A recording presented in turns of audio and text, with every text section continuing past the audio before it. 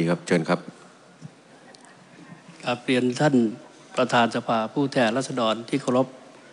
กับผมนายสมศักดิ์เทพสุทิน รองนายกรัฐมนตรี ที่ได้รับกำกับการดูแลสทนชตามที่ท่านสมาชิกผู้ทรงเกียรติหลายท่าน ได้กล่าวถึงและโดยเฉพาะอย่างยิ่งท่านอยู่หน่อยดีวาบา ปัตตานี ประชาธิปัตย์ได้กล่าวไปเมื่อสักครู่นี้พอดีที่ผมเข้ามา ได้พูดถึงเรื่องของน้ำท่วมภาคใต้ โดยเฉพาะอย่างยิ่งนาราธิวาสปัตตานียะลา ซึ่ง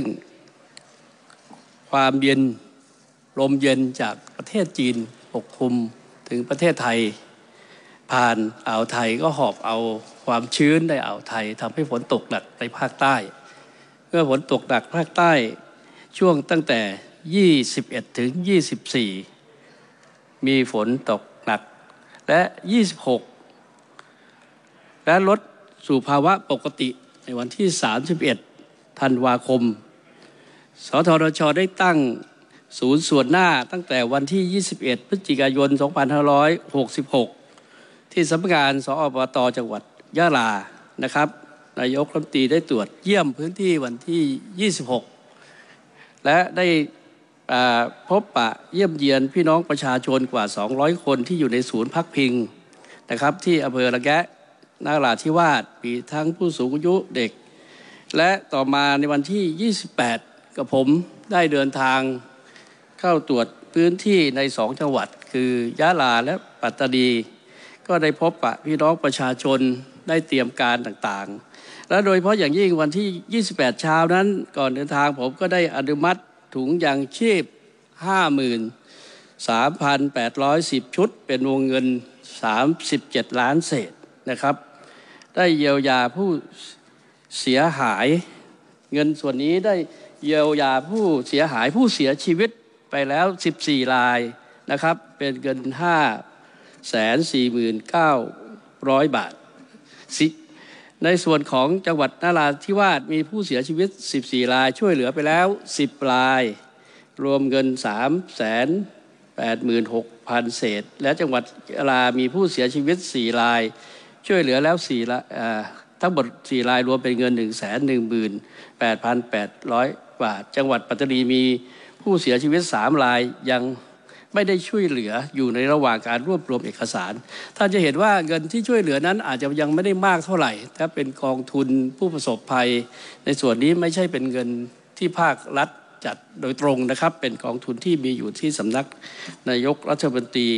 ในเรื่องของการเยียวยาต่างๆพระท่านนายกรัฐมนตรีได้กรุณาสั่งการในที่ประชุมคณะรัฐมนตรีเมื่อวันที่สองคือวันอังคารที่ผ่านมานี้ให้ตั้งศูนย์ โดยมอบหมายให้ ศูนย์อำนวยสออบต ศูนย์อำนวยการบริหารจังหวัดชายแดนภาคใต้บูรณาการกับหน่วยงานทั้งหลาย โดยการตั้งศูนย์บริการรวมใจช่วยเหลืออุทกภัยภาคใต้นะครับมีสามกลุ่มกลุ่มแรกมีราชทันกรมพัฒนาฝีมือแรงงาน คณะกรรมการของอาชีวศึกษาในเรื่องของการช่วยเหลือบ้านเรือนที่อยู่อาศัยซ่อมแซม ในกลุ่มที่สองกลาโหม ซึ่งทหารพัฒนากองอำนวยการความมั่นคง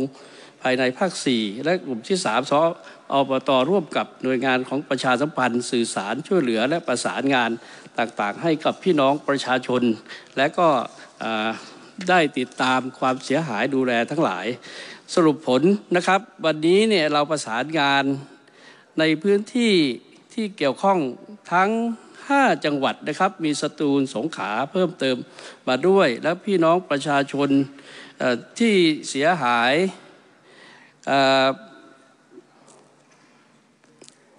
ครัวเรือนทั้งหมด 1 2 1 1,582 ครัวเรือน และประชาชนรวมทั้งหมดทั้ง 5อำเภอ 4 4แสน66,135 คนนะครับ ในส่วนของปศุสัตว์เนี่ยที่เสียหายคือเป็ดไก่แพะ 387,728 นะครับ ถนนอาคารชำรุด 149 สายนะครับ คอสะพานชำรุด13 13จุด ซึ่งการดำเนินการตรงนี้เราจะบูรณาการดำเนินการในส่วนของงบประมาณต่างๆนั้น ก็คงต้องเป็นส่วนที่พวกเรากำลังจะพิจารณากันตรงนี้ ท่านนายกรัฐมนตรีได้กำชับสั่งการให้ดูแลนะครับ นี่คือข้อมูลสรุปโดยดำเนินการไม่ได้ละเลย นะครับ แล้วก็เตรียมการเพื่อจะช่วยเหลือพี่น้องอย่างเต็มที่ และผมคิดว่าหลังจากพิจารณางบประมาณของพวกเราเสร็จสิ้นแล้วก็คงจะได้ดำเนินการต่อไปครับ ขอบคุณครับขอบคุณท่านรองนายกครับต่อไปท่านสิริรพัฒน์กองตระการเชิญครับ